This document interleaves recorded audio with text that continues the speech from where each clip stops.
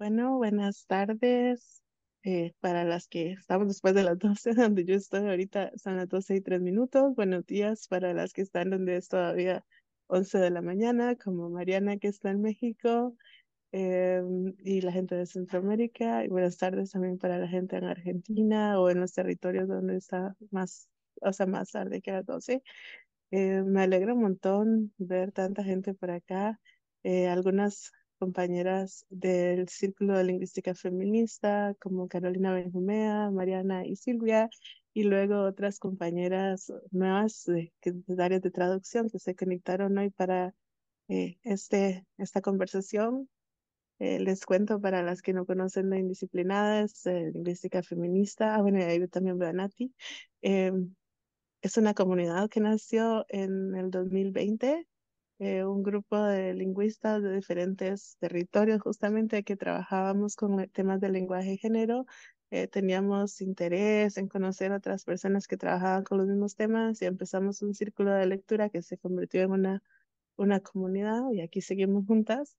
Eh, así nos conocimos con Mariana, con Silvia, con Nati Villarroel, como decía, con Carolina Benjumea, que está también conectada. Y bueno, tuvimos muchas sesiones de lectura y de conversaciones de los diferentes temas. Colaboramos haciendo diferentes eh, procesos con Silvia y Mariana, por ejemplo, la primera editatona eh, indisciplinada para visibilizar a las mujeres en Wikipedia y así, bueno, y esto hizo que la comunidad continuara dentro de este proceso. Bueno, este, hoy particularmente estamos organizando este espacio para escuchar a las compañeras, a Mariana y a Silvia, en torno a la experiencia del programa que, que todas, bueno, que nos convoca, que es Habitar la Lengua.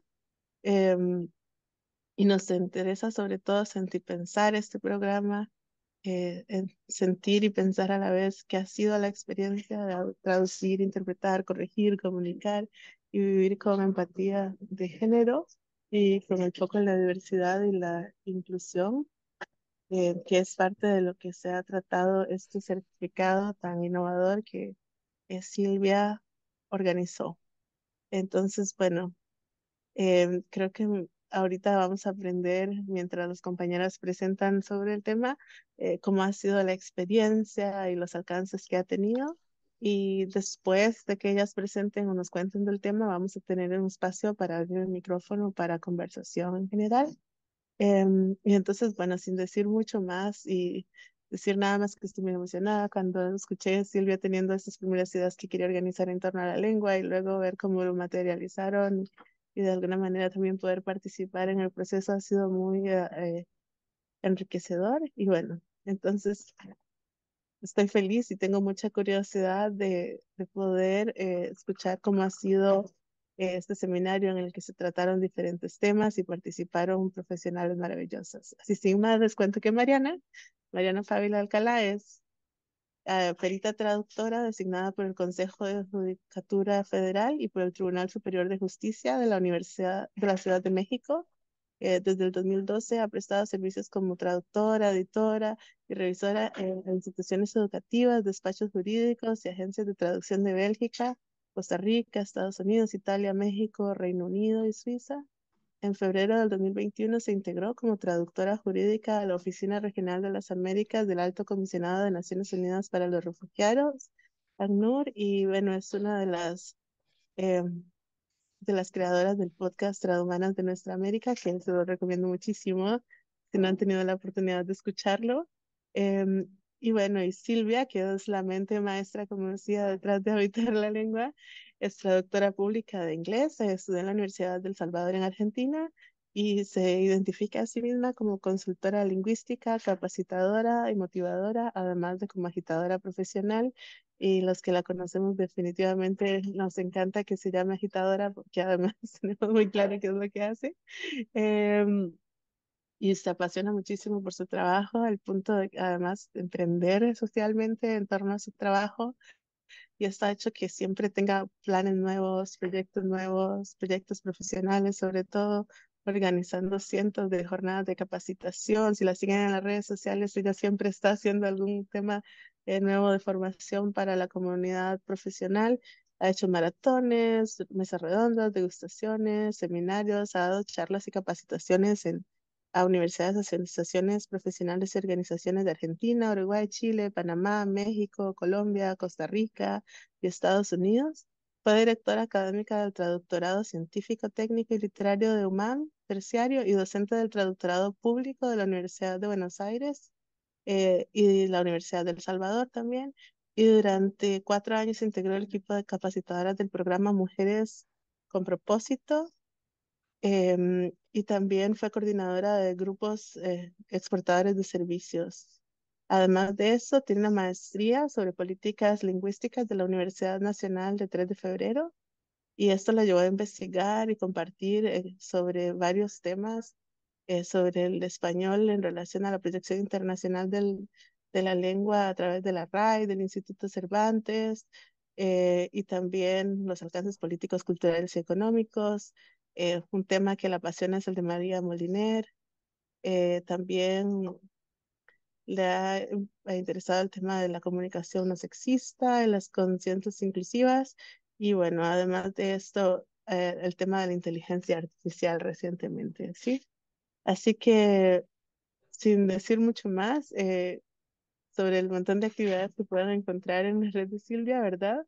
Eh, sí, eh, me parece importante poder darles ahora la palabra y que todas estas actividades que ya en algunas ha coordinado con Adelita Stenberg y con María Esther Capurro, que me parece importante que ella también eh, quiere como mencionarlas, em, llevaron a la gestación de este programa del que vamos a aprender hoy.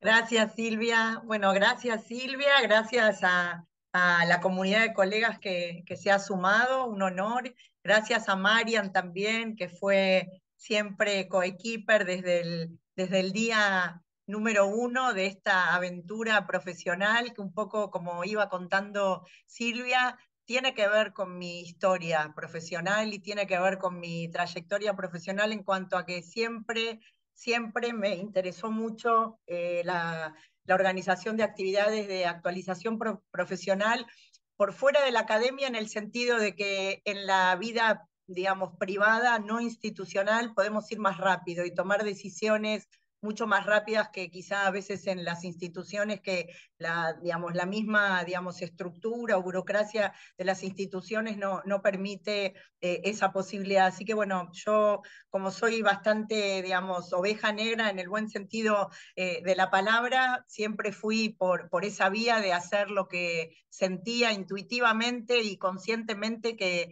que quería hacer y que me parecía que era eh, un granito de, de, arena que estaba aportando. Y la verdad que el programa Habitar la Lengua, si ustedes escucharon un poquitito lo que leía Silvia, tiene que ver con mi, con mi pasado, eh, no solo por esto de organizar actividades de, capacitación profesional, sino también porque allá por 2012, intuitivamente y solo intuitivamente, organicé unas actividades que tenían que ver con traducción, género, lenguaje inclusivo en el marco de la Universidad de Belgrano, que es una universidad privada que hay acá en Buenos Aires, y la verdad que la primera fecha la tuvimos que cancelar porque no había ningún tipo de interés, no había inscripciones, así que la tuvimos que pasar seis meses y ahí un poco fue como convencer, a la gente de que se sumara para, para poder, digamos, como llenar la sala, por decirlo de algún modo, ¿no? Em, Silvia, yo estoy viendo la pantalla de Zoom, ¿puede ser? O sea, dejé de ver ahí está mejor. Sí, un momento era, alguien la compartió, parece. Ah, ok. Bueno, ese fue como el arranque en 2012, después tuve yo algunas experiencias, después, bueno, la, la vida me, me, llevó a toparme, a reencontrarme con Alita Steinberg después de muchos años de no vernos y empezar como una aventura de, compartir una especie de grupo de estudio por WhatsApp, por mail entre ella y yo, y a exponer juntas y armar seminarios y actividades. Y por el camino paralelo también la conocí a Marian por, por Zoom, y bueno, y después vino el, la cuarentena y salimos a organizar infinita cantidad de actividades, muchas que tenían que ver con, perspectiva de género, con inclusión, con no sexismo en la lengua. Y bueno, todo tuvo que ver con todo. Yo sentía que, bueno, que, que había realmente que armar eh, un programa eh, en el marco de, la Organización Mexicana de, Traductores que Mariana eh, integraba la, mesa directiva. Le acerqué alguna inquietud de estas. Ellos desde la, desde la OMT me convocaron para varias actividades y paneles y después cuando le conté así como bajito y, y, como susurrando del proyecto, me dijo acercarlo a la OMT, está buenísimo, hace falta, es necesario un programa así, bueno, y así fue pero también la vida eh, no es lineal y no te, no te deja las cosas servidas en bandeja de forma muy fácil, siempre hay algún escollo, siempre hay alguna piedra, siempre hay alguna dificultad, eh, y yo soy bastante perseverante, entonces a pesar de las dificultades que nos planteó el arranque del programa, que justamente iba a estar de la mano de la OMT, cambió la mesa directiva y por diferentes razones no se pudo canalizar a través de, esa asociación, pero bueno, gracias a la, a la IAPTI, de la mano de Aurora Humarán, su presidenta, pudimos tener apoyo institucional por parte de la IAPTI y así finalmente, después de muchas idas y vueltas y muchas dificultades, arrancó el programa en marzo. Siempre lo pensamos como una prueba piloto porque no sabíamos qué repercusión iba a haber del otro lado y bueno, la, re, la repercusión fue eh, maravillosa, no solo por parte del equipo eh, que nos acompañó con los diferentes seminarios, que fueron 16 seminarios de la mano de 20 profesionales de diferentes latitudes. Una es Silvia, que está acá anfitrionando este espacio, Mariana también, no sé si está acá eh, Paula, ¿está Paula? Silvia, no. Ok, Paula, bueno, y después van a poder eh, consultar todo el listado de, profesionales, pero eh, muchas y muchos, Pablo Muguerza, eh, Sebastián Aduris, María Laura Espoturno, Gabriela Ortiz, María Laura Ramos, Ligit, Velázquez, y, colegas que justamente lo que queríamos era que fuera Natalia Prunes, me voy como acordando de los nombres lentamente en el marco de la emoción que me, que me rodea. Eh, Silvia de Costa Rica, Mariana de México, Pablo de España, Susana Guerrero Salazar de España, Susana Barcia de España. Realmente esta multiculturalidad del mundo, digamos, hispanohablante, eh, no solo del equipo, también eh, de la población que nos acompañó del otro lado, ¿no? La, la, la comunidad de colegas que, que se fue sumando de, Panamá, de Uruguay, de Argentina, de España, de México, de Canadá. Entonces realmente fue un, un espacio sororo, de confianza, de, de compartir, de, de, de, ir transitando inquietudes y también de ir transitando experiencias de cada quien, porque estamos hablando en general de profesionales con muchísima trayectoria, de colegas también con mucha trayectoria. Entonces siempre el chat estuvo muy activo, la cámara disponible para al final hacer modo coloquio y para realmente poder vernos, poder leernos y poder conocer de, de, todas las trayectorias, porque realmente fue como un espacio eh, muy colectivo y de mucha cooperación eh, y de mucha colaboración. Realmente creo que, que, todas las personas que participamos del espacio, tanto del equipo docente como de, de, de, de la comunidad de colegas que, que, asistieron, realmente nos fuimos nutriendo muchísimo, muchísimo, porque no era solo el espacio vivencial, lo sincrónico, sino que también hay un espacio en Google Classroom con muchísimo material textual y audiovisual complementario que realmente para quien quería o quiere todavía, porque está disponible un tiempo más, complementar su, sus lecturas, complementar el visionado de, de videos. Realmente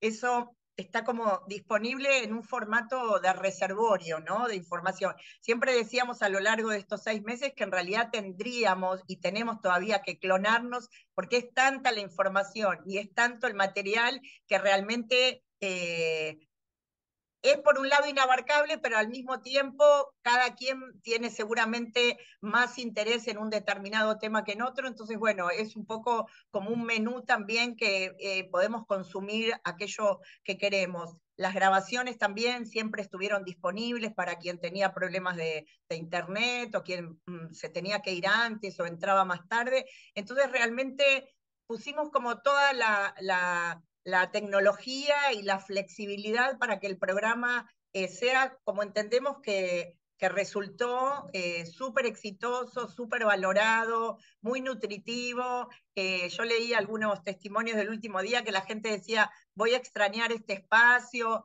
fue un lujo. Después en, en un link que les va a compartir eh, Mariana vamos a ir subiendo testimonios que fuimos recogiendo a lo largo de, de estos seis meses. Y yo realmente lo que tengo es puro agradecimiento, emoción y, y, también mucho orgullo porque realmente, eh, por un lado, fue mucho tiempo el de preparación, pero al mismo tiempo no fue tanto.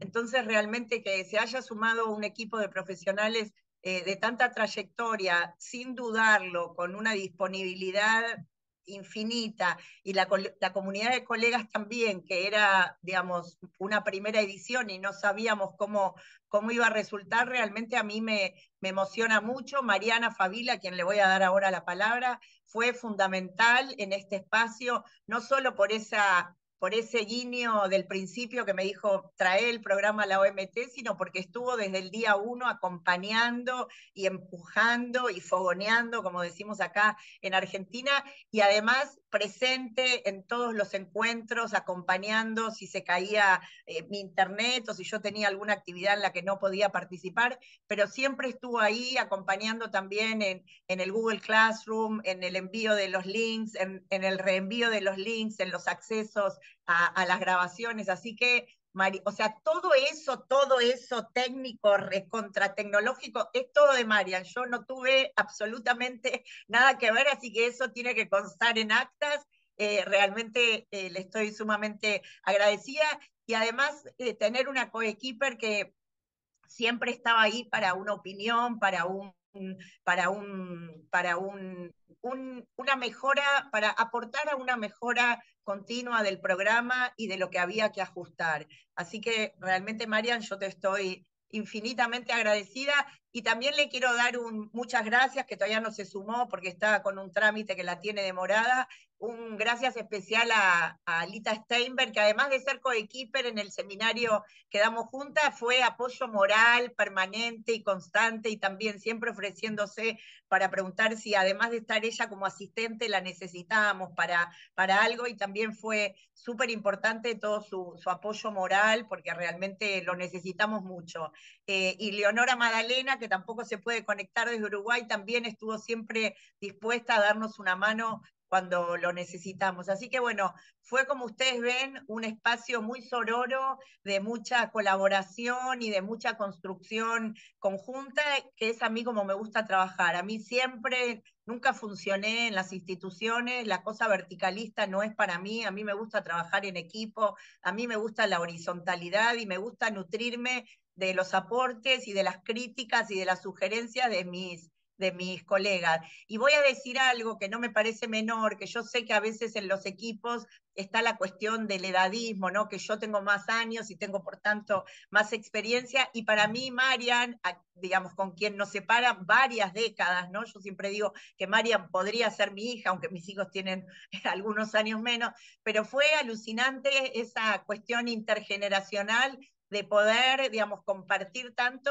y estar tanto de acuerdo a pesar de vivir en culturas diferentes, de estar en países diferentes, de tener experiencias diferentes, de tener edades diferentes y sin embargo, aún con todas las diferencias, encontramos muchísimos puntos en común y creo que eso también hizo al éxito de, esta, de este lado de la organización, que creo que nunca tuvimos ni un sí, ni un no, ni un blanco, ni un negro, eh, hasta tuvimos también la suerte de conocernos personalmente en abril de este año, cuando Marian vino al Congreso que se hizo en Buenos Aires, y paseamos un montón, y charlamos un montón, y caminamos un montón, y nos hicimos ampollas en los pies y comimos y tomamos café y salimos de día, de noche, de tarde y de mañana, así que bueno, eso también me, parece que hizo eh, parte eh, de, bueno, de que haya sido tan, tan hermoso este trabajo conjunto.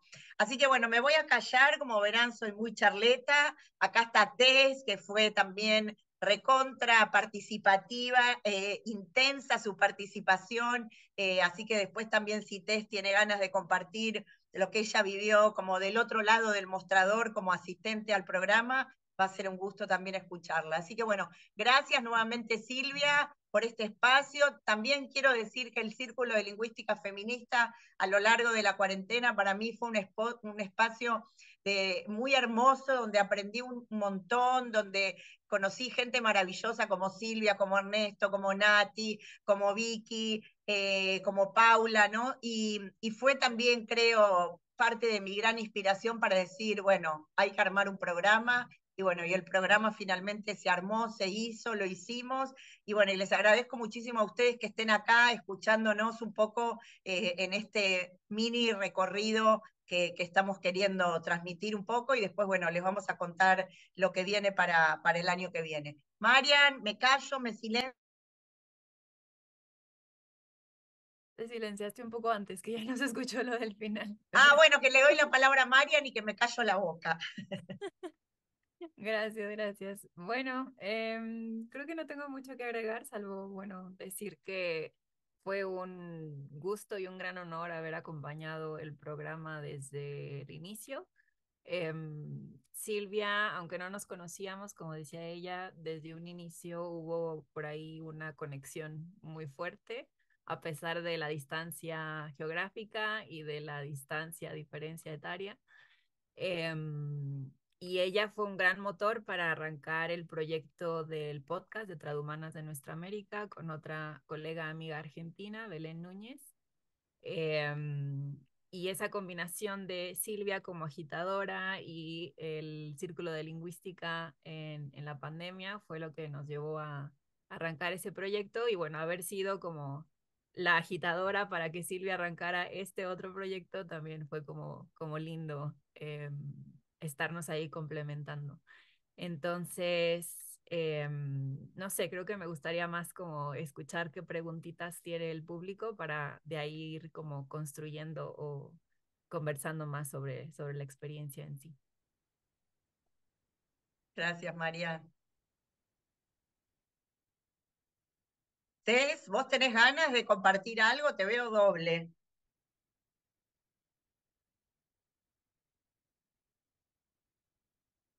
Sí, hola. Sí, es que estoy en, en, dos, en dos computadoras porque tengo un enredo aquí. Em, pues lo que siempre digo, o sea, el programa para mí fue, me abrió los ojos, ya, ya los tenía semiabiertos en, en todos estos temas, pero la verdad que fue una experiencia maravillosa. Les agradezco a, a todas, a Silvia, a Marian, a las dos Silvias, a todas las personas que, que compartieron sus conocimientos. Eh, el material, como tú lo mencionaste en el Classroom, o sea, es algo, es un tesoro, es algo que no tiene precio, de veras. Y mm, bueno, animar a los demás, el, les demás colegas que quieran participar en, en este tipo de, de actividad, pues es, es, un, es un lujo, es un, una oportunidad única. Y sí, es algo que no, no nos podemos perder. Em, y bueno, quisiera tener un poquito, aunque sea de la energía que tiene Silvia, que tienes tú, Marian, para yo también animarme a hacer este tipo de... Porque tengo un par de ideas que ya te las comenté, Silvia, pero me falta como desarrollarlas y, y, me gustaría seguir, pues, me gustaría seguir trabajando con ustedes y compartiendo eh, experiencias, ¿no? Eh, y nada, o sea, creo que ya lo dije todo en la, en la entrevista, casualmente, no sé si la vas a mencionar, eh, eh Marian. Em, y bueno, eso. Gracias. Gracias, Tess. Gracias, gracias. Por ahí. Creo que ayuda mucho, como lo que decía, la comunidad para animarnos a arrancar esas, esas ideas que de, de pronto pueden parecer como muy locas o inalcanzables o tontas, pero ya cuando encontramos nuestra tribu, em, las podemos llevar a cabo. Así que... Sí, me gusta mucho esa palabra, tribu, porque sí, que encontramos a nuestra gente. Eso es algo que yo mencionaba la vez pasada, no recuerdo a quién estaba diciendo, eh, que mm, una piensa cuando estás en tu mundo y sobre todo, eh, no sé, los colegas traductores, traductoras, traductores de cualquier eh, identidad, em, que solamente trabajamos tras las, como quien dice, tras las cámaras, pues nada más con el documento y todo, y no tenemos esos espacios de compartir afuera, en persona. Eh, y a veces tenemos ideas, como dices tú, ideas pueden ser, nos, nos parecen locas, y decimos, no, pero que nos sentimos como cohibides, pero no, estos espacios son tan importantes, por eso me gustó muchísimo participar, porque siento que tengo personas que, que piensan igual que yo, que, que son agitadoras igual que yo y que se atreven, ¿no? Entonces, que se atreven también a, eso también me, me ayudó, de hecho el programa me ayudó mucho a mí a poder expresar esas ideas fuera de mi círculo, fuera de, con personas que no, quizás no piensen igual que yo, que antes no me atrevía a hablar de este tipo de cosas, porque una no sabe cómo lo van a interpretar, pero al tener mi tribu, me empodero para poder hablar de estos temas que son tan necesarios, ¿no? Así que eso, eso también es muy importante, no solamente desde el punto de vista ya pues profesional de, de la lingüística, sino también desde el punto de vista humano, de poder compartir y de hablar de los temas con propiedad, con decir, oye, que te, que te refutan un tema y te digan, no, mira esto así, o no creo que sea así, porque mira esto y lo otro, y tú dices, no, mira, esto es por esto y esto y esto, y tengo las, tengo las, eh, tengo el material y la propiedad y la verdad conmigo para poder sostener lo que estoy diciendo, ¿no? Así que sí, ese, ese es el valor sobre todo del, de este tipo de actividad. Qué lindo, Tess. Gracias. Ahí la veo a Paula, que fue parte de esta gran aventura, la, genia de Paula Salerno. No sé, Paulita, si tenés ganas de, de abrir el micrófono y, y, compartir algún sentipensar. Lo veo también a Ernesto por ahí. Ah, ok, Paulita no puede hablar. Bueno, no importa, Paula, estás igual. Ok, genial. Bueno, no sé si alguna de las personas acá presentes tiene ganas de, de, hacer alguna pregunta, algún, de compartir algo, porque este espacio es absolutamente abierto. Veo que Ernesto levantó la mano. Ah, Ernesto, dale. Hola, bueno, antes que nada, disculpen por y bueno, es bonito volver a verlas todas como siempre. Este, no sé si me escuchan bien, ¿me escuchan bien? Más o menos yo. Un poco lejos. Sí. ¿Ahora me escucho mejor? No. Más, no sé, yo más o menos, Ernesto. Se escucha un poco apagado eso, como dice Tess. ¿Qué tal, ¿Qué tal ahora? Lejos, como si estuvieras lejos, lejos. Uh... Bueno, te vas preparando mientras vamos viendo si alguien, tranquilo, no hay apuro, si alguien de, del, del público presente tiene ganas de, de hacer alguna pregunta, de compartir algo. Nos va a dar mucho gusto escucharlas o escucharlos. No sé si aparte de Javier hay algún otro varón que nos acompaña.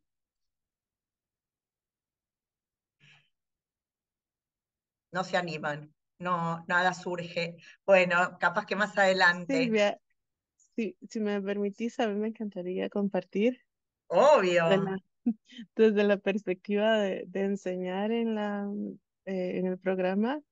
Em, bueno, yo enseñé eh, sobre activismo lingüístico y activismo digital. Y para mí fue muy linda la experiencia de compartir con la comunidad de traductoras porque, o sea, realmente es las preguntas que vienen desde la práctica eh, son diferentes que tal vez las preguntas que nos hacemos eh, desde un espacio donde es más conversar sobre el tema, no necesariamente aplicar eh, ciertos temas.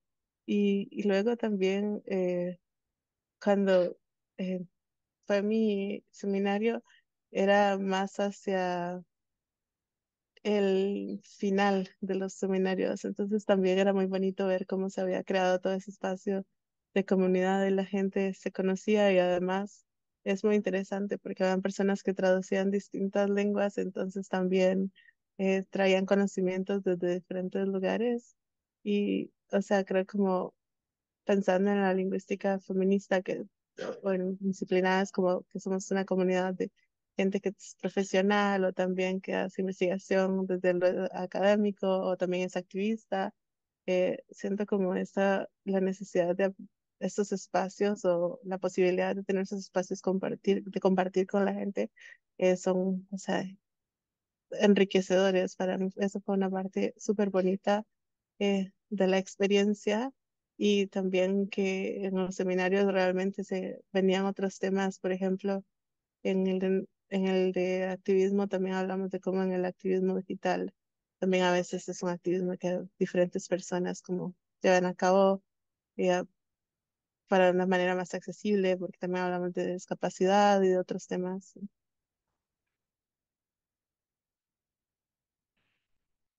Te muteaste, Silvia. Ah, sí, y eso iba a decir. ah, ok, ok, ok. Sí, un poco esto que dice Silvia de, de, de, esa mezcla, diría yo, casi perfecta entre la academia y la práctica, ¿no? Como, como ese tejido que se fue armando en un telar con, con, con diferentes también experiencias desde diferentes latitudes y también... Eh, diferentes experiencias en el sentido de quienes trabajan para organismos internacionales, quienes trabajan desde México, quienes trabajan desde Canadá, quienes trabajan desde la Argentina, quienes trabajan para agencias de traducción o para agencias de publicidad, ¿no? Como tan diverso el universo de justamente de clientes o de de, de, interlocutores que tenemos al interactuar con, con, nuestros trabajos, que realmente la práctica fue nutriendo la teoría y la teoría nutrió la práctica, ¿no? Entonces era una cosa así como permanente y constante. Y también cuando decía Marian lo de la tribu, que Tess le gustó mucho esa palabra, a mí también es una palabra que,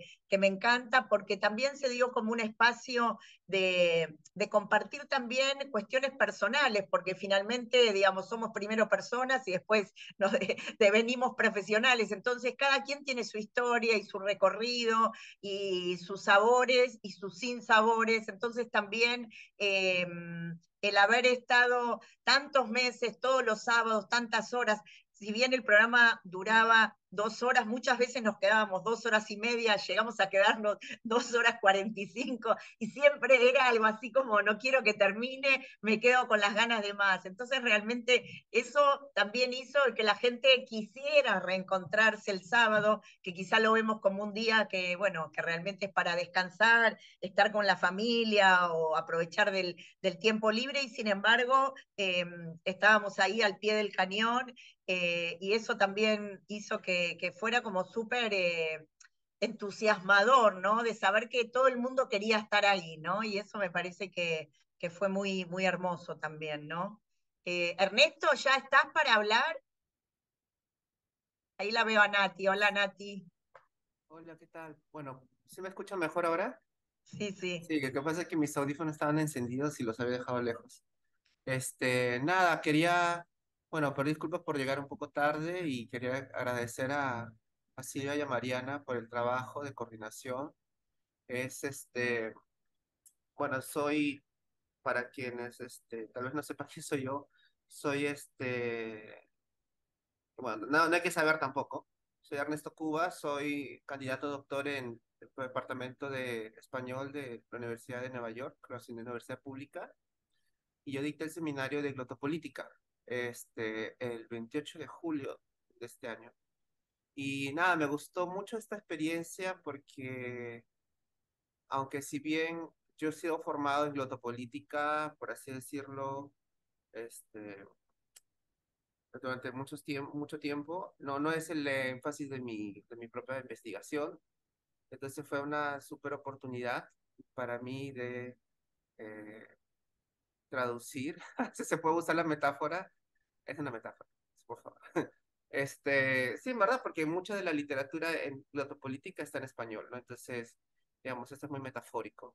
Eh, todas estas cosas que hemos leído en, en, el programa, en la red sociolingüística de Política, que es latinoamericana, que incluye este, sitios como, bueno, Argentina, Chile, ¿no? En, el grupo que hay en Nueva York, ¿no? Entonces ha sido muy bonito poder tener la oportunidad de hacer, de estructurar algo y hacerlo bajar a un llano, eh, a un lenguaje llano, accesible, lo más que yo pude hacer, porque también cuando uno está en, en este negocio este, académico, pues uno habla en esto, ¿no? Como en academiquez, entonces ahí no, no necesita un, como dicen en inglés, un reality check, ¿no? Y que, ah, no, bájale, bájale.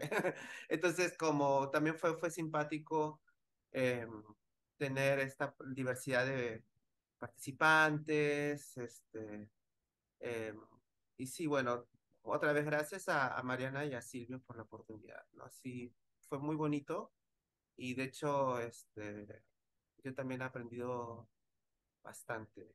Aunque fue un solo seminario, aprendí bastante, no parece, pero sí. gracias, Ernesto. Un placer, gracias. Bueno, Paula, ahora sí, Paula puede decirnos algo de su sentipensar. ¿Estás por ahí, Paula? Hola, ¿me escuchan? Perfecto. Ay, perdón que no puedo poner la cámara, pero bueno, me hice un ratito acá para, para poder hablar un poco. Em, eh, Silvia, quería agradecerte primero que nada por la invitación, a Silvia y a Mariana por la, la coordinación tan, tan linda y tan ah, organizada de esta, de esta experiencia. Yo estuve a cargo del seminario de estudios del discurso y, mm, y bueno, quería también agradecer a las personas que asistieron por, la, por el interés, por las preguntas, por los comentarios tan eh, agudos y atentos y, y, decir que para mí es una experiencia en lo profesional importante porque me parece que, bueno, esto que viene marcando Ernesto y, y, y Silvia, me parece que es importante poder salir un poco de nuestra burbuja académica y también pensar eh, y, plasmar en, los hechos la, conexión con otros espacios y em, ver la relevancia que hay y lo que se puede aprender en ambos casos, ¿no? Digamos, yo también aprendo mucho y aprendí mucho en esta experiencia y me parece que, que es importante poder, eh, sí, traducir nuestros saberes y, e intercambiar. Eh, y, también entender las, las problemáticas profesionales de otras profesiones, ¿no? que no son, por ejemplo, la lingüística, que es mi caso. Así que bueno, en eso quería, quería resubrayarlo em, y bueno, y agradecer. Gracias, Paula, un placer aprendimos. Yo siempre digo que, por lo menos en Argentina, en lo que tiene que ver con la, no sé cuántas traductoras argentinas del lado de la traducción pública hay acá presentes, pero yo siempre lo que digo es que nosotras en la formación nunca tuvimos análisis del discurso, ¿no? Como que estamos todo el tiempo analizando discursos y nadie nos dio ni siquiera media materia o un cuarto de materia, ¿no? Entonces, un poco también, eh, bueno, esto, acercar.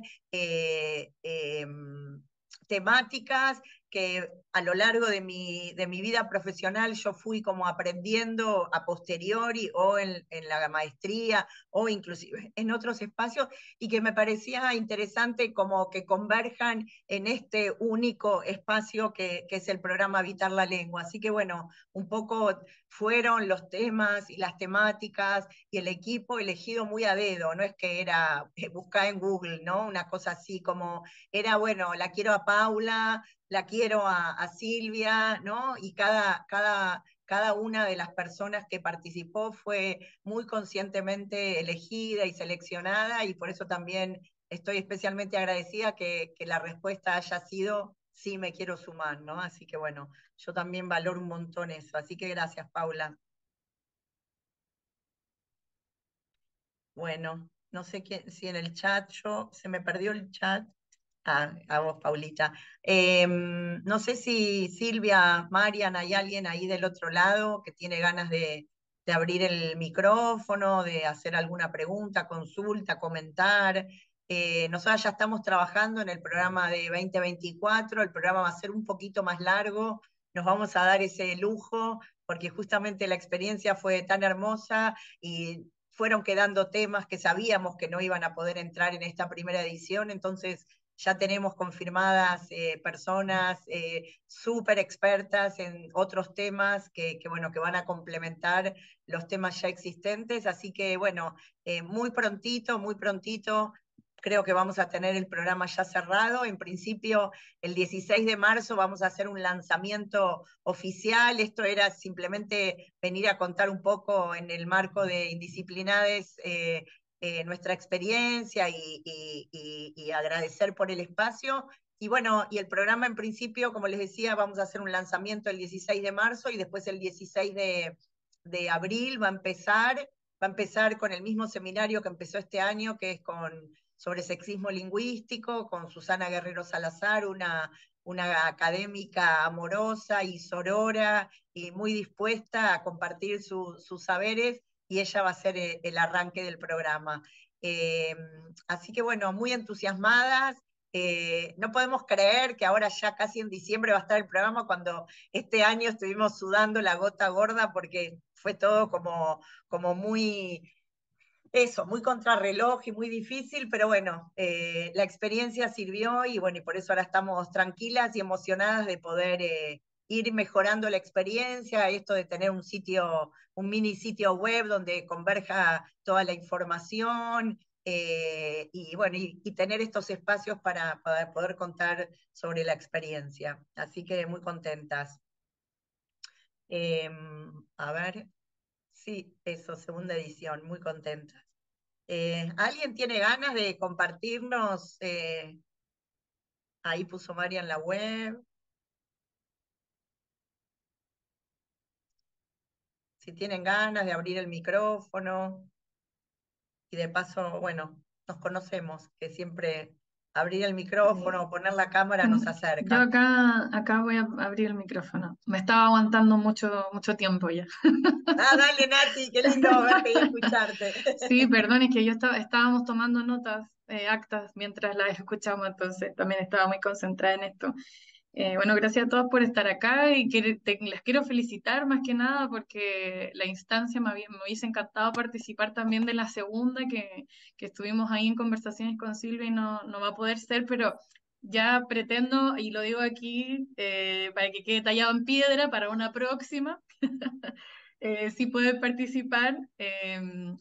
Y decir, comentar un poco que me parecen muy importantes todas estas instancias en las que podemos compartir, como ya han dicho varias compañeras y Paula también lo mencionó, em, de las, las, diferentes cosas que vamos aprendiendo por las profesiones que realizamos como trabajadoras o trabajadores del lenguaje.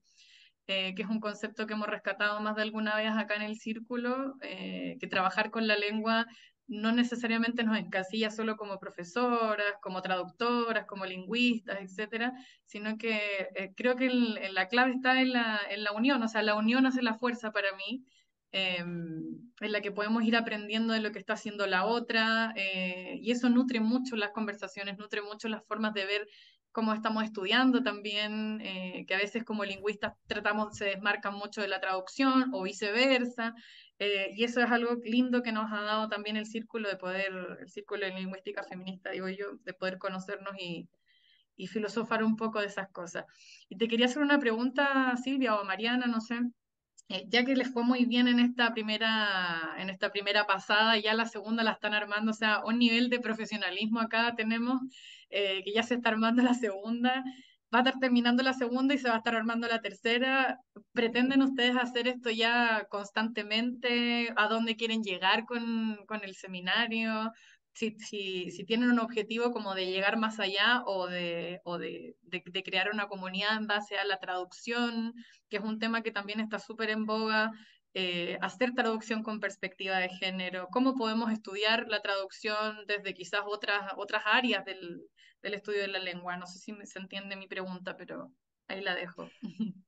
Sí. Eh, mira, Nati, eh, personalmente, digamos, yo siempre me moví en un ámbito de muy, así como ustedes quizá están en el ámbito académico, endogámico de la academia, yo siempre estuve en el ambiente endogámico de traductoras, correctoras, intérpretes, revisoras, eh, y yo justamente andaba por ahí revisando y hay una cita de Saussure que dice, voy a leer, el tiempo altera todas las cosas, no hay razón para que la lengua escape a esa ley universal, ¿no? Entonces, a partir de, esto, eh, que no es nueva la cita, por supuesto, porque es Saussure, Em, yo lo que justamente veía era que se nos presentan nuevos desafíos, bueno, ni hablar de todo lo que estamos viviendo y que es el monotema en las redes y en los grupos de colegas, el tema de la inteligencia artificial que nos van a, reemplazar y ya no, no, pues solo vamos a hacer posedición. Entonces yo creo que una capacitación así se imponía por muchísimas razones. Primero porque los tiempos están cambiando, no solo los profesionales, los tiempos, la sociedad, el mundo, la realidad, el, reconocimiento de la otra edad y salir un poco del compartimento estanco quizá en el que cada quien estaba, digamos, acostumbrado o acostumbrada a desenvolverse. Entonces me parece que ya es una experiencia de vida transitar por esta posibilidad de ver cómo la lengua está cambiando, cómo hay justamente otredades que necesitan expresarse o que nos expresemos de forma diferente y me parece que todo va de la mano, la lengua con la realidad y la realidad con la lengua. Entonces me parece que primero como personas esta cosa de sensibilizarnos y concientizar los cambios que estamos teniendo en la sociedad, reconocer esa invisibilización que tuvo, digamos, eh, que eh, las mujeres o los colectivos LGTB o las personas racializadas o las personas, digamos, mayores de edad, eh, las vejeces, entonces me parece que hay como mucho, mucho, ¿no? las personas que pertenecen o que están en un grupo de que no tienen cuerpos, digamos, hegemónicos, entonces me parece que hay tantas otredades y tantas realidades y tantas eh, posibilidades de, entender a quien tenemos al, lado, arriba, alrededor, entonces me parece que, que este programa lo que acerca es desde lo personal todo eso y desde lo profesional nuevos desafíos profesionales, porque de hecho el último seminario, que fueron dos encuentros de la mano de, de, dos publicitarias, justamente lo que nos mostraron es qué está pasando desde el lado de las instituciones, desde el lado de las empresas, desde el lado de las marcas, qué piden, si cambian, no cambian, si lo hacen por una cuestión de washing o realmente se la creen, qué, impacto las grandes marcas, de las grandes cadenas, del gran consumo eh, pueden hacer a través de una campaña publicitaria porque le pueden cambiar la vida a millones de personas. Entonces, desde ese lugar, entender justamente como esta realidad cambiante desde muchas aristas. Por eso quizá todos los primeros seminarios fueron como más teóricos, después bajamos a cuestiones más prácticas. Marian, podés contar de tu seminario también. Y justamente fue todo pensado para decir, bueno, y después esto, ¿cómo lo traduzco a la realidad? ¿Cómo lo llevo a la realidad? Bueno, que me cuenten quienes trabajan con las empresas, con las marcas, con las instituciones, con los organismos, qué está pasando ahí.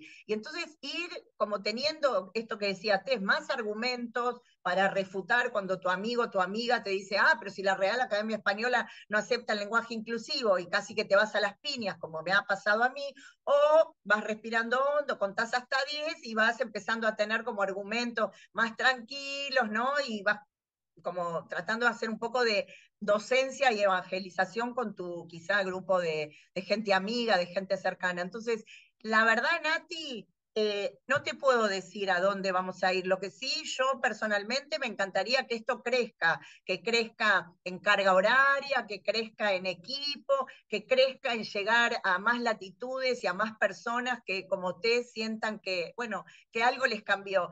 Yo personalmente siempre, no de ahora, cada vez que organizaba una, una capacitación, yo decía, lo que yo quiero es que cuando esa traductora, ese traductor se siente nuevamente en su escritorio, algo le haya hecho clic, algo haya cambiado. Y yo creo que el programa este lo que tiene es eso, que cambia, cambia muchas cosas y eso ya me parece que vale mucho. Entonces, si vamos a terminar en una institución o vamos a terminar teniendo un programa de 10 meses o de 12 meses, la verdad que no te lo puedo decir porque creo que estamos haciendo camino al andar y, vamos viendo, o sea, no desconocer la realidad de esto. Hay repercusión, hay interés, hay acogida, le damos para adelante.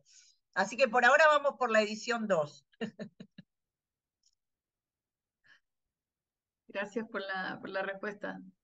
Dale, Mariana, ¿qué querías decir? Sí, bueno, em, bueno, primero decir que quien está armando todo el programa es Silvi. Yo estoy haciendo comentarios aquí y allá apoyando en la parte técnica, pero digamos que la, la mente maestra es Silvia.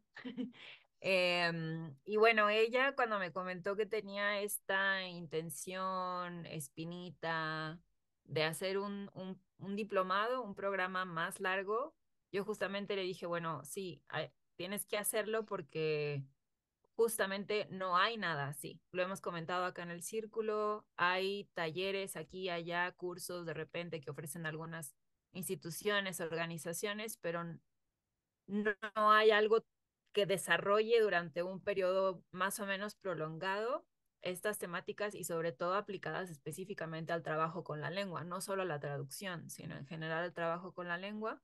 Em, y sobre todo en el mundo hispano, no lo hay, y bueno, y tampoco lo hay en el, en el mundo anglosajón. Eh, igual son cursos aquí y allá, entonces tener un, una formación así de varios meses a lo largo del tiempo, enfocada en el trabajo con la lengua, era súper necesaria, es súper necesaria. Eh, obviamente es incómoda para las instituciones, por eso de repente lanzan un cursito, un taller, pero no algo así que implique un compromiso a largo tiempo. Em, pero justamente creo que la idea sería cambiar esa perspectiva y darnos cuenta de que no es que estemos o no de acuerdo, sino que ya el mercado lo está exigiendo. Eh, y si no nos vamos a subir a ese barco, bueno, es decir, no tengo esa capacidad para atender proyectos de ese tipo, entonces lo derivo a otra persona que sí lo tenga. Em, y, y, creo que es eso, como dar, darnos cuenta, eh, difundir la idea de que es una cuestión que necesita formación, que necesita práctica, que necesita adquisición de conocimientos, desaprender muchas cosas eh, porque como decía Silvia, no sé, muchos de los, bueno, básicamente todos los temas que se abordaron en el programa nunca se han abordado en un traductorado o en una licenciatura en traducción.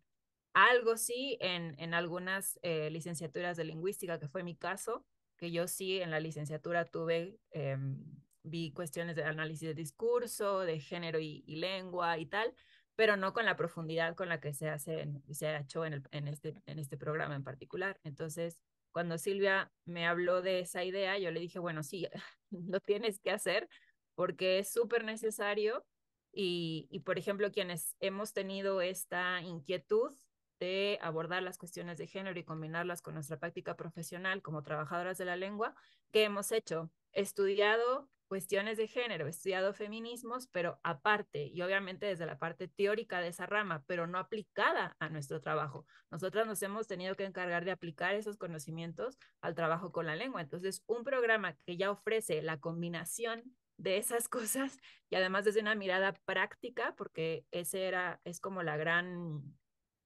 eh, lo que marca la diferencia con este programa, que eh, son profesionales hablando desde su día a día de cómo resuelven cosas, con qué problemas se han topado, cómo los han resuelto, qué propuestas tienen. Eh, creo que le da un, un, valor agregado importante que eh, pues sí esperamos que sean más las personas y las instituciones que se den cuenta de ese valor y que lo, lo adopten y se, pues se suban al, al barco. Gracias sí, por la respuesta. Y también otra cosa que me parece importante es que justamente como que estamos, eh, y a mí me dio como mucho gusto estar como detrás de bambalinas, de ver los contenidos y, y, y, el material que se iba a compartir en cada seminario, en el sentido de que hay muchos momentos que quizás se repitieron ciertos temas, pero que era desde diferentes miradas o desde diferentes recorridos, y también aportar, bueno, ¿y qué te parece si haces esto y esto otro? Y también que no era como el formato que viene, como el docente o el profesional, eh, o la profesional a dar una capacitación, sino que había como, a pesar de que era a través de Zoom y plataforma, de, de esta posibilidad como de interactuar, como, como que se sentía también que estábamos presentes, eh, aunque no lo estábamos, ¿no? Y el hecho también de que nosotras estábamos de este lado también como interactuando y, a, y, acompañando y acompasando tanto el chat como a quien estaba impartiendo el seminario, y me parece que eso también le dio como una dinámica muy vital que quizá no es común porque cuando vamos a dar una capacitación la damos y ya, ¿no? Entonces me parece que, bueno, que tuvo algunos condimentos y algunas especias de color y de sabor que también hicieron que, el programa haya sido lo que, lo que fue, ¿no? yo me pareció verla, no sé si está Alita por ahí, que también estuvo como, como impartiendo conmigo un seminario, pero también estuvo como asistente y capaz que quiere compartir algo. No sé si está Alita, a ver, se me fue. Sí, Alita está, está, Ah, está. Alita, bienvenida. Sí, ¿cómo están todos y todas? Em, bueno, sí, la verdad que eh, yo no, no sabía cuando empecé más allá de el, el curso que compartimos con Silvia, el seminario, que fueron dos sábados em, que no alcanzaron eh, porque realmente fueron muy rápidos. Em, no, lo que, eh, por supuesto que me fui entusiasmando. En principio mi asistencia no era, no era una asistencia que iba a ser todos los sábados, pero después si no podía un sábado, era como que mm, eh, me sentía mal conmigo misma porque este, cuesta mucho ir reponiendo después, ver las clases grabadas, hacerse el tiempo para verlas, y no es lo mismo porque también descubrí que, bueno, no sé si eh, serán todos, yo creo que la gente que opta por tomar eh, un, un curso, un, un certificado, un diplomado como este, es gente especial. Perdónenme si soy, eh, si en esto no soy inclusiva. Eh, digo, ¿no? Em, digo desde el lado de la sensibilidad. Y me parece que em, entre las asistentes y el asistente, porque había uno solamente, como que se creó, no sé, como una cosa eh, que uno la Una sentía en el tribu. aire, ¿no? Alita, Mariana Sí. dijo una tribu, vos entraste más tarde, que armamos Ah, una tribu. Ah, exacto. Bueno, sí, era un poco eso, ¿no? Em, y como que eh, más que nada un espacio de libertad donde uno podía expresarse em, sin temores de ninguna índole, donde hasta después podríamos expresarnos y preguntar y preguntarnos. Y creo que eh, eso es un valor agregado. Me parece que no es solamente, eh, no es, no es solamente la cosa curricular, sino también todo lo que nos despierta, todo lo que vamos aprendiendo y aprendiendo y cuestionando y cuestionándonos. Entonces, desde ese lugar me pareció realmente este, espectacular, bueno, la experiencia de poder eh, dar eh, la charla que dimos, los, seminarios, el seminario que dimos con Silvia fue fantástico. Eh, la experiencia fue fantástica desde, desde el lado también de poder em, eh, también seleccionar contenidos, porque bueno, Silvia ya les habrá contado, yo llegué tarde, pero la selección de contenidos en función también de todo un, panorama que venía después, ¿no? O sea, como, como anunciar un poco lo, lo que venía. La verdad, eh, mi experiencia como asistente y como docente fue espectacular, espectacular. Muchas gracias, Alita. Yo no había contado de nuestro seminario, pero un poco hacemos eso, como que introducimos desde nuestra mirada profesional lo que viene después, ¿no? Hacemos como, como un picoteo de cada tema para que después eh, las y los expertos eh, y expertas se, explayen en cada tema, ¿no? Pero siempre hay como un ir y volver, ¿no? Y eso también está bueno, ¿no?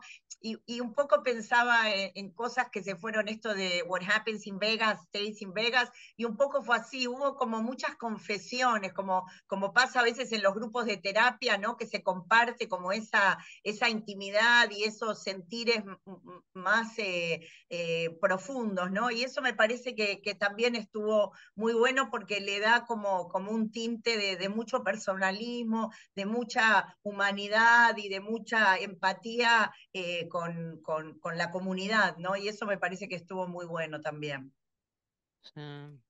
Sí, sí, sí, indudablemente, indudablemente. Ese es un, un valor agregado importante, importante. Bueno, a ver, ¿quiénes de, quien, de, de, quienes nos están visitando tienen ganas de, de hacer alguna pregunta o qué les surge a partir de lo que estamos compartiendo. Ahí veo gente tomando mate. Hola. Hola. Hola, ¿qué tal? Gina, encantada. ¿Qué tal? Un gusto. Eh, yo soy traductora técnico-científica eh, y bueno, hace muy poco tiempo lanzamos con cinco colegas nuestra agencia de traducción, empezando. Eh, y la verdad que este es un tema que nos interesa mucho, mucho a todas, muchísimo. de hecho, algunas ya hicieron algunos cursos, pero como decías vos, son charlas cortitas eh, y la verdad es que estamos todas muy interesadas en hacerlo. Eh, de a poco entre todas vamos armando glosarios y recopilando información eh, sobre, bueno, la temática, pero sí, no está, o sea, no es, digamos, no está todo tan alcance, al alcance de la mano. Así que, bueno, justo les estaba mandando la información del curso a las chicas porque estamos muy interesadas en hacerlos, en hacerlo. Eh, no sé si que no, pero bueno, algunas lo vamos a hacer. Yo creo que no se van a arrepentir, ¿no? no lo digo yo, lo dicen los testimonios. Pero... No, sí, sí, seguro, seguro. Sí, ya estuve mirando ahí la página.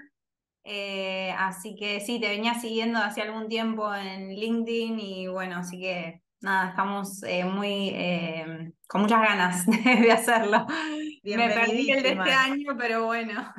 Bienvenidísima. Bueno, esto un poco eh, de la mano de lo que decía Marian, y esto muchas veces lo decimos con Alita, y a mí me gusta mucho decir que yo siempre digo que arranqué en la traducción pública, pero yo siento que soy también una, una consultora lingüística en el sentido de que hablo con los clientes y mm. sugiero y propongo. Entonces, este, este saber también puede ser de, que nos invite a, ser proactivas, o sea, obviamente que no es que vamos a dejar de eh, traducir el masculino genérico que quiere tu cliente porque con eso pagas las cuentas, eso lo tenemos claro, pero también puede haber mínimos cambios, ¿no? Como el otro día veíamos con Rocío que capaz que una gran marca para, el, para la cuestión de efemérides toma una actitud de usar una X o una arroba en una campaña, pero no quiere decir que cambie toda su comunicación, ni interna ni externa, pero de repente, bueno, acercar algunas propuestas que justamente esa comunidad LGTB que ve una X o que ve una arroba o que ve una E, y bueno, de repente siente que, que, que, bueno, que le están hablando también, ¿no? Que no hay una invisibilización. Entonces, mucho de todas esas cosas son las que vemos, las que compartimos, las que transitamos para justamente aportar nuestro granito de arena para que todo el mundo esté un poquito mejor en este mundo tan caótico y convulsionado que estamos viviendo de, localmente, internacionalmente, ¿no? Como por todos lados. Entonces, bueno, esto es una especie de, de oasis que nos da aire y nos da herramientas y nos da, eh, bueno, un poco también de sustento teórico y reflexivo para esto, para ir a hablar con, con mis clientes, más si ustedes están en...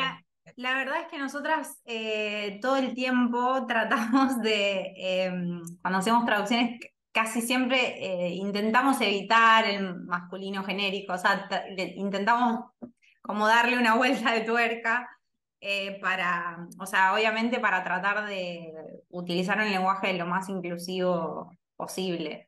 Eh, pero bueno, estaría muy bueno, o sea, tener más herramientas, ¿no? O sea, contar con más herramientas y principalmente, como decían antes, eh, para una poder justificar al cliente siempre por qué se utiliza esto y por qué no, porque bueno, eso es algo con lo que crecemos eh, digamos, durante toda la carrera es lo que por lo menos a mí me pasó de tener profesoras que siempre eh, te inculcan eso, ¿no? Buscar siempre el, apoyo, el contenido que respalde tus elecciones, ¿no? Eso es clave.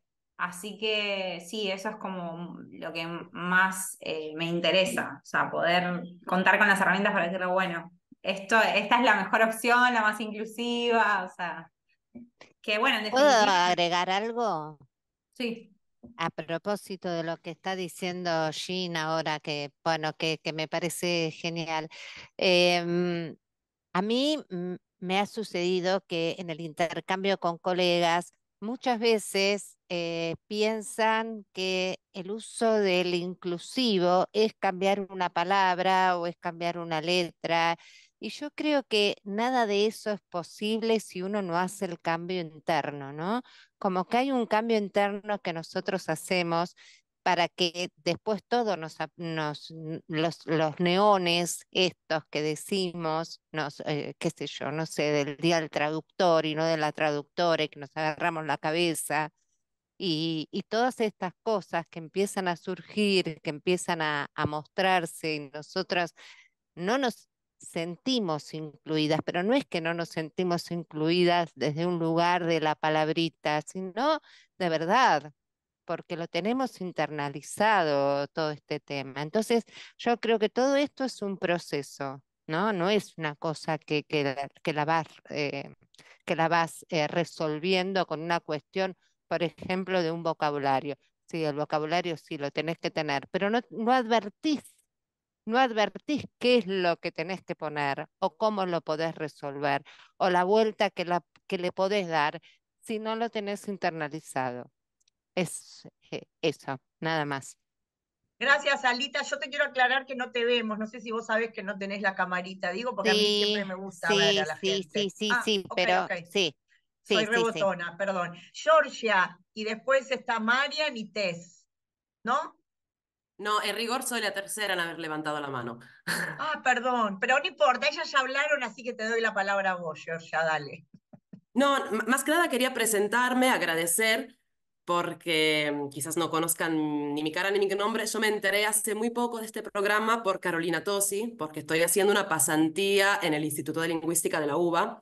Soy de la Universidad de Turín, ahí tengo una beca postdoctoral en Italia y estoy trabajando justamente, yo tengo una formación como traductora y después hice un doctorado en lingüística y ahora me estoy especializando en un, traducción con perspectiva de género y, el desafío sería un poco llevar todo lo que estoy aprendiendo acá a, a Italia, donde tenemos un desafío no solo morfológico, sino también cultural muy grande, porque es muy difícil hablar de lenguaje inclusivo de género en un país que no cuentan con, con políticas públicas que respalden el discurso, entonces el riesgo de que se convierta en una cuestión meramente formal, como una forma más económica de incluir a las mujeres, pero dentro de un paradigma binario, es muy grande, con lo cual tengo muchas ganas de participar en el programa del, de 2024. Espero que se pueda participar también a distancia porque se me va a complicar estar presente los sábados en verano, pero está bien que no sea tan eurocéntrica la programación del, del diplomado. Así que nada, eso, quería agradecer esa oportunidad de conocernos, a pesar de ser de forma virtual.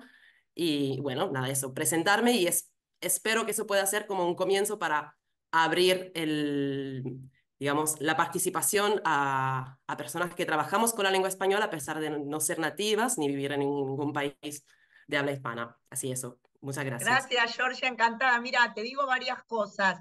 Eh, lo primero que es virtual, es solo virtual, o sea que justamente el horario también está pensado para que Marian y la gente que está en México, Centroamérica, se puedan conectar a la temprano. Nosotras en Argentina más para el mediodía y la gente de Europa a la tarde. Eh, Patricia Posadas, que es una colega que estaba siempre eh, en Europa, decía que el programa era muy bueno porque si no ella a esa hora tendría que estar en la playa con el calor que hacía y estaba al pie del cañón todos los sábados, dejó un testimonio hermoso, eso por un lado. Por el otro, eh, que justamente el programa está pensado que en general son muy pocas las instancias eh, que trabajamos con inglés y español. La otra vez cuando Marian dio su seminario dio ejemplos en inglés, pero como había una colega que era de alemán y Marian sabía alemán, se, tomó, digamos, como también eso en consideración. Vemos un poco quién es el público, pero no está pensado en, en que no son talleres de traducción que pasan ni por el inglés, ni por el italiano, ni por el alemán, ni por el francés. Justamente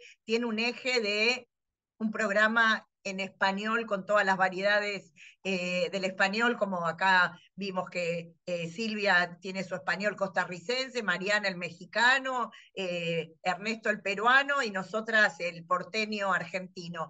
y después te voy a compartir por vía privada, después le voy a pedir a, a Silvia tu correo, porque nosotras hicimos, nosotras eh, a lo largo del, de la cuarentena, post cuarentena y también durante el programa, hicimos varios conversatorios que estaban por fuera del programa, porque no había habido tiempo para incluirlo, y habíamos hecho un conversatorio sobre el tema de qué está pasando con el inclusivo en italiano y en hebreo con dos eh, colegas eh, que fue también muy interesante y por ahí tenemos también la grabación que quizá te interese chusmearlo un poquito.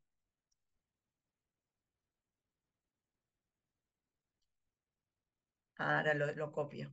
Bueno, ¿quién más? Ah, Silvia y Marian, ¿no? Tess. Tess Sí. Ah, Tess, perdón. Voy a, sí, perdón. No, solamente quería agregar un poquito, ya hablé demasiado, pero quería agregar nada más un poquito eh, de las decisiones a la hora de usar el lenguaje inclusivo cuando estamos trabajando. A mí no me ha tocado todavía que me lo pidan ni, ni tener que darle justificaciones a los clientes ni nada, pero eh, la mayor parte de mi trabajo, el grueso de mi trabajo es de español a inglés. O sea que en cierta forma lo tengo un poquito más fácil. Pero de todos modos, a mí lo que me ayuda este tipo de programa es ya tener como el chip instalado y me detengo a pensar más en, en las decisiones que voy a tomar y las, eh, las frases y las, los giros de frase que voy a hacer. Y antes era como en automático, perdón, automático lo, lo que, o sea, nuestro idioma o, el, o, nuestro segundo nuestra segunda lengua también, lo que sabemos y simplemente lo plasmamos. Ahora me detengo y pienso más, ya no es tan auto, bueno, sí, se está volviendo automático el pensar en, e inclusivo, ¿no? Porque eso también es parte de, de la reprogramación que nos hacemos, pero es eso, pues, eh, nos ayuda a, a, a, tener las herramientas, quizás no las plasmemos, pero las tenemos en la mente. Y eso a la, a la, a la larga nos ayuda en el trabajo a eh, tener como más ese, eh, esa, esa ayuda semántica, no sé cómo explicarlo, pero, pero la idea es esa, pues, que, que me, a mí por lo menos en particular me ha ayudado a eso, que aunque no tenga que justificarlo ni usarlo, ni que me, ni me pidan que lo use, de todos modos, a veces mm, quizá hago como, lo meto por debajo, ¿no? Para ver si se, para ver si se nota y, y si me dicen algo, o a veces no, pero era eso. Gracias. Gracias, Tess. Marian, ¿vos sos la próxima? Sí, nada más rápido, eh, un poco relacionado con lo que decían Gina y Georgia, em, que el programa está pensado, por un lado, para, bueno, profesionales del lado docente, digamos, que tenemos este interés, que lo hemos venido desarrollando, eh, muchas de nosotras aquí en el círculo, Em, pero también del lado de, digamos, el estudiantado, participantes, está pensado justamente para quienes tienen la inquietud, el interés, que se están dando cuenta que algo está pasando, pero quizás no saben dónde buscar, cómo buscarlo, em, y, y que justamente descubran o conozcan todo lo que se ha escrito al respecto, todo lo que se puede aplicar a nuestro trabajo que no se aborda en las aulas universitarias porque son temas incómodos porque son autoras incómodas, em, que básicamente ponen en entredicho los cimientos de, la academia como la conocemos. Em, entonces está pensado para, digamos, sustentar esa formación, porque lo primero que se pone en tela de juicio cuando como profesionales de la lengua hacemos una pregunta, hacemos una observación con respecto a la, inclusión, la diversidad, eh, se pone en tela de juicio nuestro profesionalismo. Entonces, justamente es eh, respaldar con eh, un equipo bastante sólido de profesionales que están impartiendo los seminarios, eh, esos conocimientos que se van adquiriendo a lo largo de, los, de los encuentros. para decir, bueno, no, no es que a mí se me ocurrió, no es que es un capricho millennial, sino que hay todo un bagaje escrito en la lingüística, en, en la sociología, en la antropología, o sea, ¿no? Mm. Eh, entonces, em, decir que, como dice Sara Ahmed, el, el, este programa es un refugio en el sentido de que nos podemos encontrar quienes tenemos estas inquietudes y que vemos esa hostilidad que se da en la academia, en el ámbito profesional, en el ámbito laboral, pero también es una plataforma para seguir impulsando estas temáticas que, como decíamos, son cada vez más necesarias em, y, y, que los, lo está exigiendo el mundo, aunque haya resistencias, ¿no? Sí, yo una cosita que quiero como agregar eh, es que también lo que me parece súper interesante y un poco eh, en consonancia con esto que decía Marian, que también es muy interesante al ser de latitudes y de, de franjas etarias diferentes, también es muy interesante ver cuál es el recorrido de cada quien y cuáles son las autoras o los autores o los, o, los textos o los libros que nos fueron como marcando y por eso también estamos cada quien a donde estamos, ¿no? Y eso me parece que es súper, súper interesante porque yo anoté infinidad de autoras y, y, libros que desconocía y que me parece alucinante esta posibilidad de, de decir, uy, todo lo que me falta, ¿no? Como que hay un universo y un horizonte enorme por delante. Y eso la verdad que también me entusiasma muchísimo porque siento que todavía tengo mucho para leer, para estudiar, en qué formarme, ¿no? En qué profundizar. Y eso a mí me, me parece un desafío como alucinante, ¿no? Eh, esto de seguir estudiando, seguir leyendo y seguir formándome.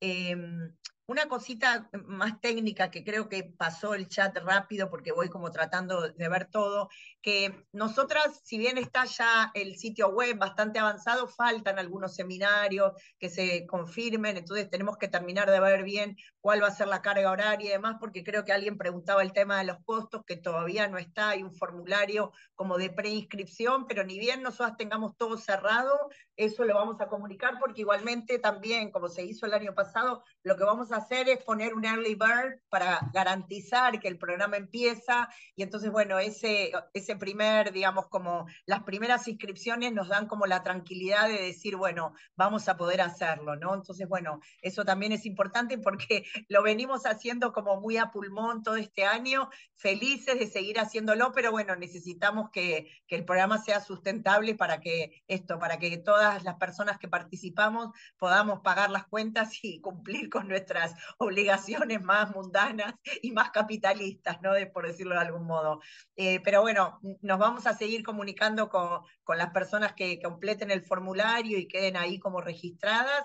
Así que yo por mi parte le cedo la palabra a Silvia, a Nati, eh, como organizadoras de este espacio. Les quiero agradecer un montón que se hayan acercado, que estén ahí como escuchando y dispuestas quizá a, transitar esta experiencia. Y bueno, y gracias de verdad a todas y, a, y al colega, que no me acuerdo el nombre, como era quien estaba, a Javier.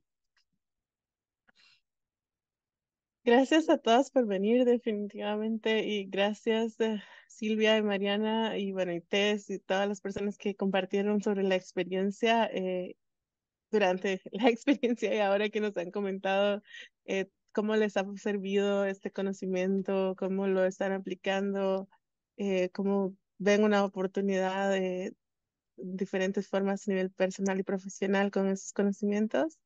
Em, Vi que Mariana compartió el formulario de preinscripción por si alguna estaba interesada y voy a compartir eh, el enlace para inscribirse en el boletín de el Círculo de Lingüística Feminista que mandamos una vez al mes con información de oportunidades de temas de lenguaje en género, convocatorias y también contamos sobre las actividades que venimos haciendo.